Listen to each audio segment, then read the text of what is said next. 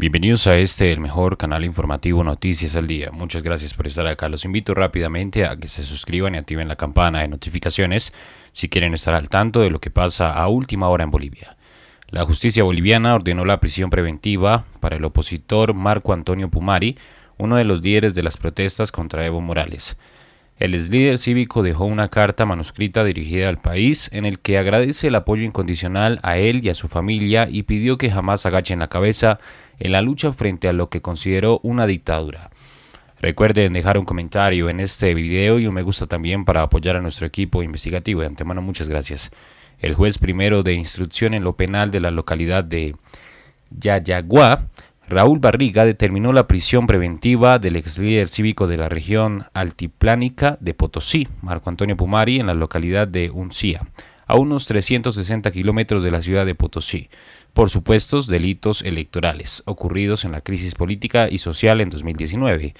La audiencia de Pumari duró al menos seis horas, finalizó cerca de la medianoche del sábado en medio de un fuerte resguardo policial y sin dejar ingresar a la prensa a la audiencia. Tras la decisión, Pumari fue trasladado a la cárcel San Miguel de Uncia, desde la localidad de Yayagua, a unos 9 kilómetros de distancia, donde se llevó a cabo su audiencia de medidas cautelares, según información de medios locales.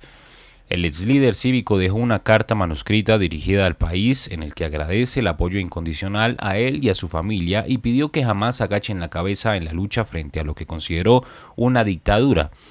Hoy con la mano en el corazón dejo al cuidado de mi pueblo lo más sagrado que tengo en esta vida, que es mi familia, mis amores, mientras dure esta prueba que me da la vida. Señala una parte de la carta difundida por las redes sociales.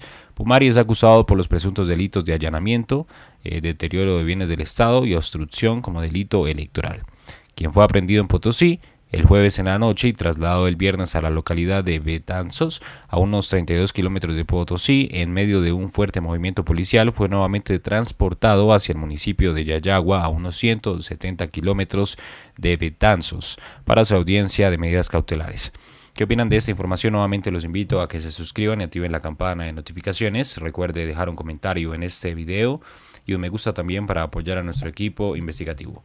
Gracias por estar acá, Noticias al Día y otros dirigentes cívicos. De hecho, se allanaron domicilios particulares, eh, se detuvo al hermano de uno de ellos. No se mencionó nunca en ninguna instancia a Marco Pumari, porque además el hecho por el cual el juez tercero de instrucción en lo penal de la capital de Potosí emite este mandamiento de aprehensión y de allanamiento es por un suceso ocurrido durante los nueve días de paro nacional recientemente, cuando una patrulla policial es tomada por un grupo de manifestantes eh, por eso se ponía tentativa de robo, eh, que utilizaron eh, los bienes o que en este caso hicieron daño a los bienes del Estado. Por todos estos delitos era el mandamiento de aprehensión. Una vez detenido Marco Pumari y confirmada la información de la detención, hoy se conoce que Marco Pumari no está implicado en estos hechos, o por lo menos no había orden de detención contra Marco Pumari por estos hechos ocurridos durante este año, sino que se ha reactivado el caso del 2019 o sea, sin notificación previa, fue candidato, recordemos, en las elecciones pasadas, obviamente donde gana el movimiento del socialismo, él ya tenía esta demanda del 2019, pero lo detienen y lo van a llevar ante un juez cautelar por esta demanda del 2019. ¿Qué pasa en Potosí a esta hora de la noche, 22 con 9? Ya estamos con Gabriel Vélez en vivo en nuestra unidad móvil. Gabriel, buenas noches, por favor, nos cuenta. Muy buenas noches a todo el país, una noche fría en nuestra ciudad. Sin embargo, la noticia ha continuado en desarrollo. Todos ya sabemos de, que Marco Antonio Pumari se encuentra en las celdas policiales de la FELC-CC en el municipio de Betanzos, distante aproximadamente a una hora de nuestra ciudad. Hoy se pensaba de que se, se llevaría a cabo la audiencia cautelar. Sin embargo, nos indican de que no ha existido el señalamiento de la audiencia como tal. Por lo tanto, se ha especulado de la misma, ya que no existió un juez ni un fiscal en, esta, en estas instalaciones. Esto nos lo, nos lo hizo saber el presidente del Colegio de Abogados eh, de Potosí, quienes están siguiendo de cerca este caso. Es probable que el día de mañana se lleve a cabo esta audiencia y por lo tanto, por lo tanto tengamos más información respecto a la situación legal de Marco Umari. Gabriel, eh, a diferencia de lo que ocurría anoche lo informábamos al país en vivo, eh, es una noche más tranquila en Potosí esta, pese a que hay todavía una importante presencia de contingentes policiales que, como lo estábamos informando anoche, arribaron desde otras eh, capitales hasta Potosí.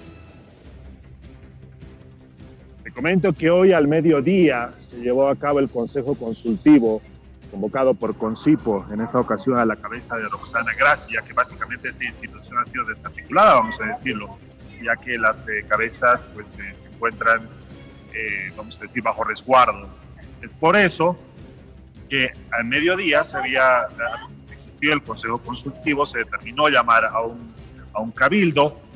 Yo pienso que el factor clima ha afectado eh, bastante, ya que toda la tarde ha caído lluvia en nuestra ciudad. Hoy por hoy me encuentro en la Plaza Central, una noche en la que debería estar llena de personas debido a los arreglos navideños. Sin embargo, eh, pese, pese, hasta está haciendo bastante frío y es por eso que no hay muchas personas en la calle, no hemos registrado movilizaciones. Después eh, esperemos de que el comité de movilizaciones de Concipo pueda organizarse, porque justo esta mañana se ha nombrado una nueva persona para que pueda asumir este cargo, ya que Ramiro Zubia también estaría declarado en la clandestinidad. Gabriel, en cuanto a la situación jurídica de Marco Pumari, porque se conoció después de varias horas y luego de una denuncia de su esposa que había sido secuestrado, encontraron su vehículo con la llave puesta, bueno, en fin, todos estos incidentes que ocurrieron previo a la confirmación hoy muy temprano en la mañana que él había sido detenido. Su situación jurídica, ¿se ha mostrado un mandamiento de aprehensión? O sea, ¿se ha mostrado eh, quién emite este mandamiento de aprehensión? ¿Desde cuándo estaba vigente este mandamiento de aprehensión? ¿Y si él fue notificado de que existía esta causa todavía abierta en su contra?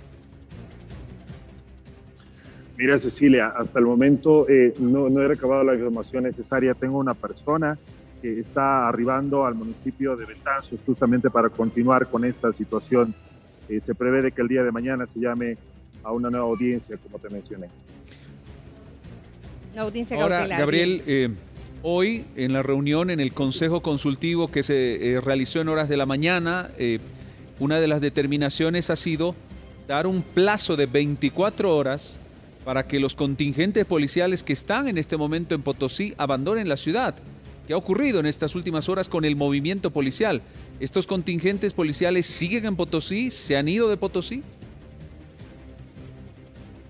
Mira, justamente al promediar las 3, 4 de la tarde se veía a varios policías ingresar al cuarto centenario, ¿verdad? Es una institución que ahora es parte de la gobernación se registraban estas imágenes, aún se veían efectivos policiales en nuestra ciudad. Sin embargo, existe, vamos a decir, cierta calma, ya no como en el día de ayer, que se encontraban desplegados por diversos sectores de la ciudad. Como les había comentado, considero de que el Comité Cívico Potosinista de alguna forma ha sido, eh, está, débil en este momento, ya que las cabezas se encuentran bajo resguardo. Eh, básicamente, Roxana Gras, que es la, la tercera en jerarquía de esta institución, ha quedado a cargo de Concipo. Se está tratando de rearticular esta, esta institución para ver eh, qué medidas se van a tomar posteriormente.